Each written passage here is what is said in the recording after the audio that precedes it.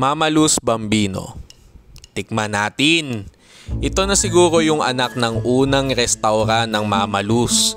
Itinatag noong Hulyo 2010 ang pinakaunang Mama Luz na matatagpuan sa kanto ng Tropical Palace at Tropical Avenue sa may BF Homes. Ang kinainan ko naman ay nasa Ayala Mall Circuit, Makati. Ang Mama Luz ay kilala sa kanilang mga pasta at pizza. Heto ang magagandang review sa kanilang restaurant.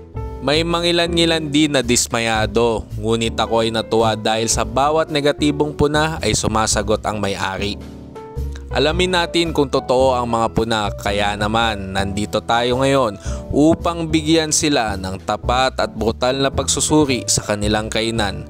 At kung ito nga bang bambinos ang nakagisnan kong mamalus. Halika, kain tayo. Kalimitang problema sa sangay ng Las Piñas ay ang paradahan. Ayos naman dito dahil ito ay nasa loob ng mall. Unang napansin ko sa lugar ay maliit ito ngunit sinubukan talaga nilang kopyahin ang original na disenyo sa may Las Piñas. Medyo mainit ng kaunti sa pwesto namin ngunit ayos lang. May nakapasok din na langaw na di naman maiwasan dahil sa nakapwesto sila sa bukas na parte ng mall. Sa mga tao naman ay naramdaman ko ang kanilang maayos na serbisyo sa pagkuha ng order, paghahain, pagliligpit at sa mga maliliit na pabor na hinihingi namin. Sa pagtingin naman sa talaan ng putahe ay simple, kumpleto ngunit hindi magulo. Nakaayos ito, may palatandaan din ito kung ano ang mga pinakamasasarap nilang pagkain at madalas orderin ng customer. Nakalagay din ang mga rekadong ginamit kaya may iwasan mo umorder ng mga pagkaing bawal sa'yo. Partikular din ang tatak na ginagamit nila sa kanilang kusina.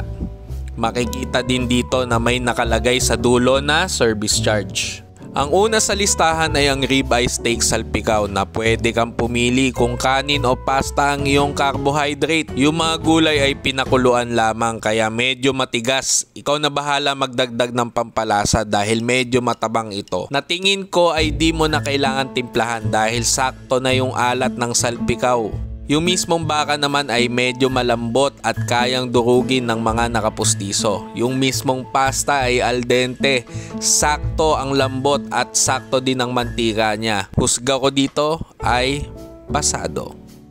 Ang ikalawa ay ang lasagna na duda ko ay niluto sa hurnong ladrilyo dahil may kakaiba itong amoy at kakaibang sunog sa ibabaw. Yung keso niya ay malapot at talaga namang kakapit sa bibig mo habang umunguya ka. May kasama itong tostadong tinapay na para sa akin ay pangtanggal umay nito. Dahil sa dalawang kesong ginamit ay sinapawan niya yung mismong lasa ng giniling na karne at katas ng kamatis. Kung mas partikular ka sa keso o makeso kang kumain, pasado ito sa'yo. Ngunit para sa akin ay pwede na. Ang ikatlo ay ang Mamalu Special Pizza na pwede kang mamili kung makapal o manipis ang masa. Pinili namin ang manipis dahil ayaw namin mabusog agad. Masarap yung mismong masa niya at yung lutong ay hindi sunog. Ang ibabaw naman ay ginamitan ng sariwang rekado ng kamatis na durog bilang sarsa. Prosciutto na nakasakto sa hiwa ng pizza. Kaya sigurado ka na malinis ang pagkuha mo at hindi masisira ang ibabaw. Mangga na bumagay sa arugula na walang lanta. At parang mayroon din itong pampaasim. Masarap ito para sa akin dahil di ko ugaling kumain ng pizza na magulay. Husga ko dito ay pasado.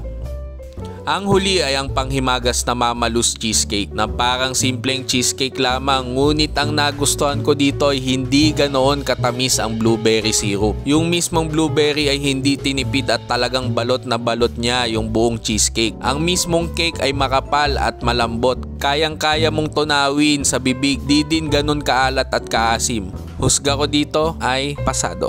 Sa pangkalahatang pagsusuri ay hindi ako binigo ng sangay na ito. Lasa mo ang pagkaing Italiano sa alagang makapilipino. Para ka pa din kumain sa original nilang restaurant at talaga namang mararamdaman mo ang serbisyong hindi customer kundi isang bisita.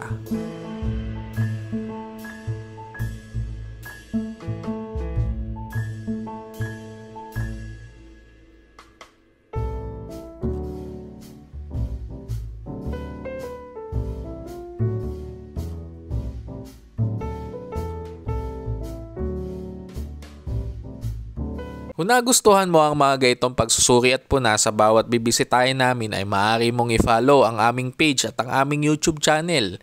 Tandaan na ang bawat tao ay magkakaiba ng kagustuhan at panlasa. Maaari kayong magkomento kung ibang pananaw ninyo sa aming mga sinabi. Maraming salamat sa suporta!